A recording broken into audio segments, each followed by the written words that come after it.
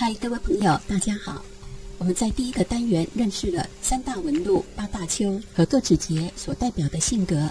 在我们手掌的八大丘，掌丘浮现的强弱、掌线的长短、深刻程度以及指出的方向等，均有着微妙的变化。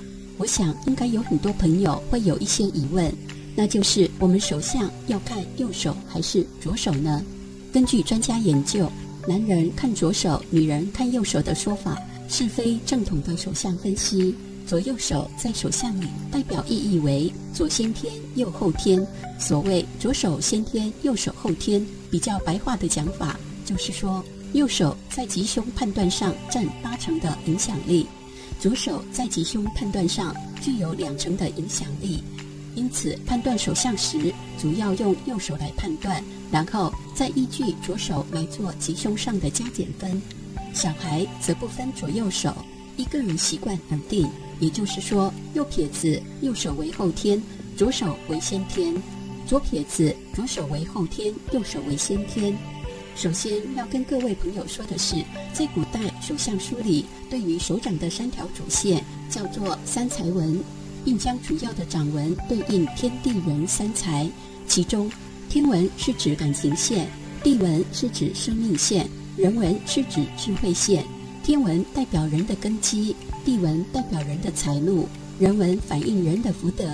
不管人的地位高低贫贱，都会有三才文。大致上来说，三条主线鲜明无折断，杂文少，唯有福禄之象。如果文理多杂乱，则多灾多难，愚笨低贱。这是古代相书上的三才文概述。但是我们对于三才文多以西洋手相为准。即感情线、生命线和智慧线。接下来，我们就一起来认识五大线纹。一、生命线。生命线又叫做地纹。生命线即生命纹，从大拇指与食指中间的掌边开始往掌底走的纹路。生命纹的长短并不代表寿命的长短，而是代表生命力的强弱。所以，生命纹其实应该叫做生命力纹。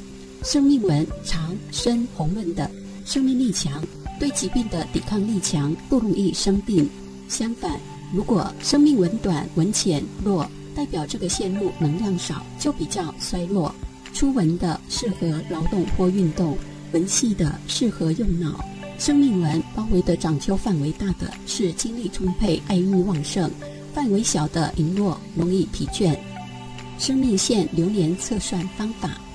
从食指中心画下来到生命线的位置，大约十五岁；从中指与食指之间画下来的生命线位置，大约二十一岁；从中指中心画下来到生命线的位置，大约三十五岁。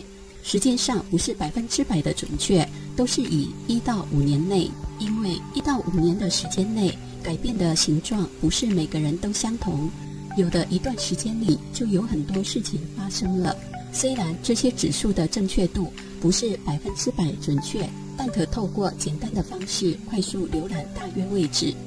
我们用大约三十五岁的地方作为例子，在大拇指下方到第一手腕线上方平行的位置取中间值，用尺画一条虚线或实线，直到小指边缘。这里测出来的结果大约在四十岁左右。因为每个人的手掌高低角度不一样，用这种方式只能让我们能够快速浏览大约的年龄。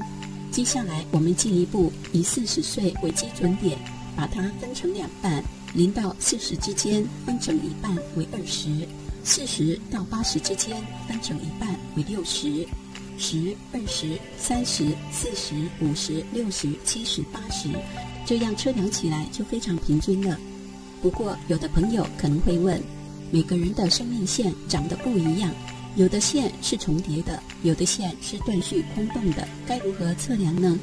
这里做了两张图来表示：一、重叠的线，生命线在三十五岁的时候发生变化，把时间转移到新线；二、断续空洞的线，短的生命线附近连接一条连线，大约在三十五岁至四十岁。转移到新线，后来在五十五岁到六十岁之间，第二次的时间转移又改变了转移方式。这种情况的生命线表示此人经过重大的变化。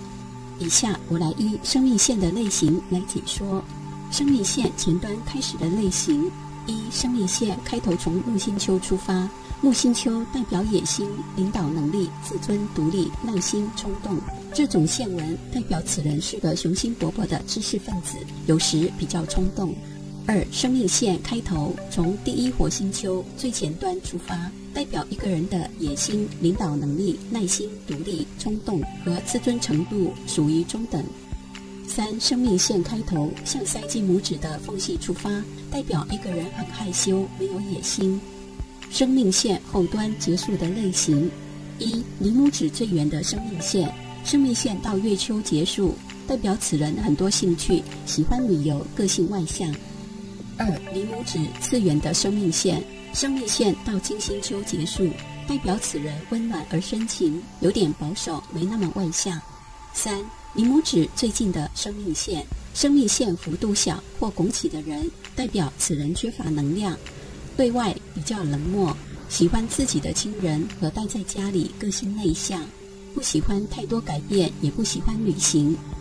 好朋友。对于生命线流年测算方法和类型，是不是有了大概的了解呢？我们下个单元一起来探讨生命线的形态，也就是生命线断裂、破碎、空洞等所代表的含义。要看懂手相，这也是很重要的部分。对于这个单元有任何想法和建议，欢迎你在底下留言。我们下次见。最后，感谢你的观赏，敬请订阅我的频道，并按下旁边的小铃铛。这样，我有新的影片就会优先通知你。喜欢这部影片，请按喜欢、分享、订阅频道。拜拜。